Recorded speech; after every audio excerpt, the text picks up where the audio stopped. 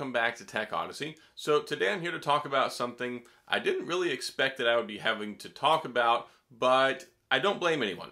And it has to do with the topic of these leaked devices that people keep putting out there, these prototypes, these designs, these ones that are rumors, these people like to do these mock-ups and they're great for getting interest. They're great for people's curiosity because those of us out in the BlackBerry world have been waiting over three years for a new phone. So I understand the interest in going out there and looking at them, but let me just start with this one particular one that's been working its way around the internet. I've had a lot of people that have messaged me and said, hey, have you seen this link? Hey, have you seen this link? This one didn't just end up like that one guy, GSMaholic, that's making a new BlackBerry render with this new BlackBerry Classic 2021, BlackBerry whatever. Apparently he just really enjoys doing that.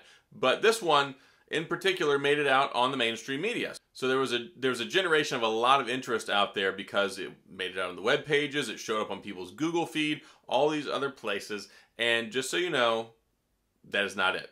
And this isn't even something that having special knowledge I can say, you know, hey, this isn't it. You just have to pay attention to what we actually know. It's been confirmed many times, and it was initially stated in August of last year that the new BlackBerry is going to have a physical keyboard, it's going to have 5G, and it's going to be running Android. When you look at this new device, there is one thing that stands out that should be a clear indicator to anybody that it is not the next upcoming BlackBerry, and that is the lack of a physical keyboard.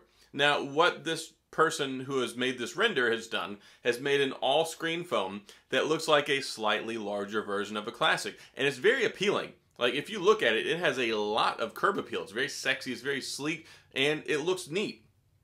Like, I will give the guy a lot of credit, or gal, whoever made it. It is really nice looking, and it's got like gold accents on it, and very, very cool. So, I mean, if BlackBerry ever were looking for a rendering partner to try and come up with the mock design, hey, find this guy. It looks cool. But it doesn't have a physical keyboard. It has an all touchscreen keyboard and it has digital buttons for the keys that pop up on the screen. So it almost even looks like it has a physical keyboard. And I guess as part of this design, like it can either be there or it cannot be there.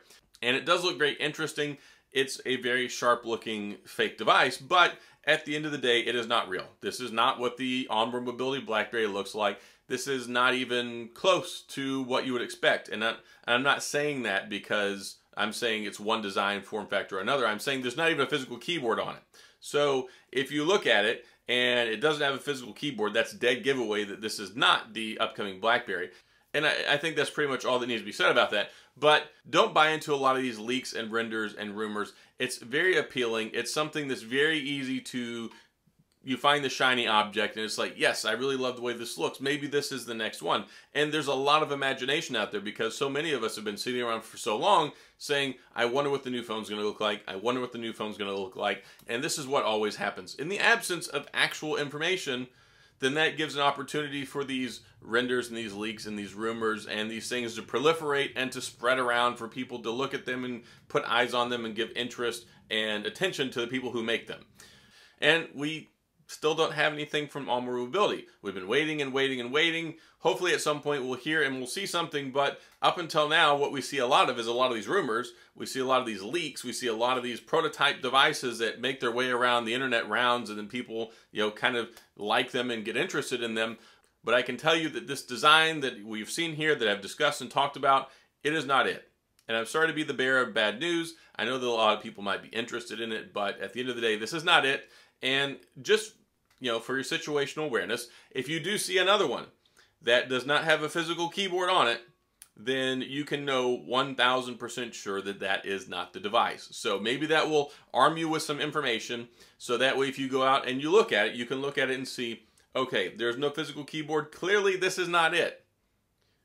And that's the best litmus test that I have to tell you right there. And I've seen so many of them. I've had people reach out to me and I'm like, look, it doesn't even have a physical keyboard.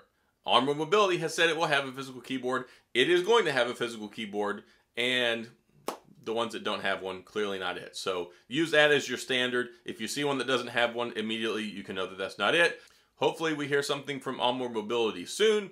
I don't know what their timing is. I don't know exactly when they're going to get around to saying something, but One day they will, and that'll be great, and then we can, you know, move forward with the information that they have there. But ultimately, what we have right now is we have these leaks, these renders, these rumors. This one right here is not real, so don't pay attention to it. Anyway, that's all I got in this video. If you have any questions or comments, please feel free to leave them down in the comment section. I'll get back with you. If you enjoy the video, please hit the like and the subscribe button and the little notification bell if you want updates when new videos come out. And as always, thanks for being here. I appreciate you watching, and I'll see you guys next time.